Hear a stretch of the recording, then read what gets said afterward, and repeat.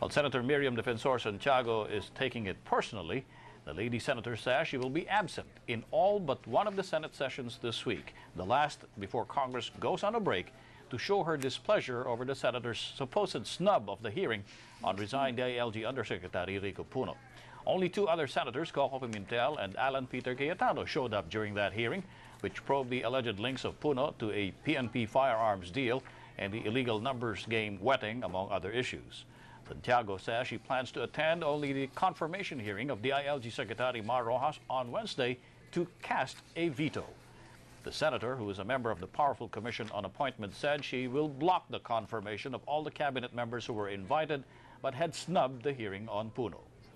President Aquino, for his part, justified the absence of the cabinet members during the Senate probe.